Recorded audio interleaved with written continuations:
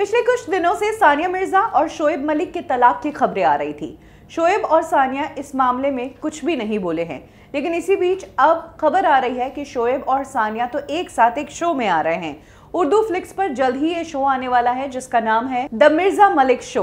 और इस शो का जो फ़र्स्ट लुक सामने आया है, उसमें सानिया और शोएब एक साथ नज़र आ रहे हैं। इस पोस्ट में कहा गया है कि ये शो जल्द ही उर्दू फ्लिक्स पर आने वाला है और पोस्ट के अंदर सानिया और शोएब को भी टैग किया गया है। सानिया और शोएब का शो आ रहा है, जब लोगों को ये बात पता चली तो लोग गुस्से से आग बबूला हो गए।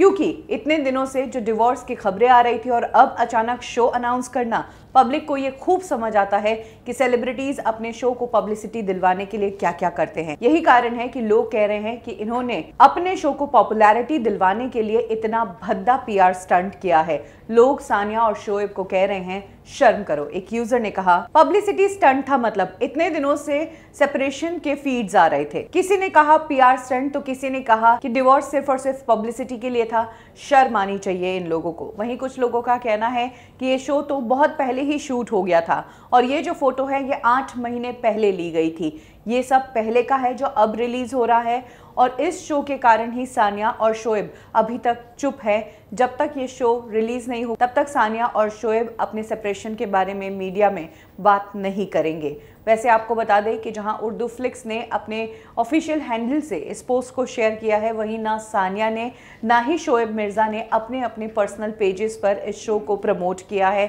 वो दोनों इस शो को लेकर भी चुप है। अब तो ये शो आने के बाद ही पता चलेगा कि आखिर में सच्चाई क्या है। ये डिवोर्स सिर्फ़ और सिर्फ़ शो को पब्लिसिटी दिलवाने के लिए था या वाकई में ये लोग सेपरेट हो गए हैं।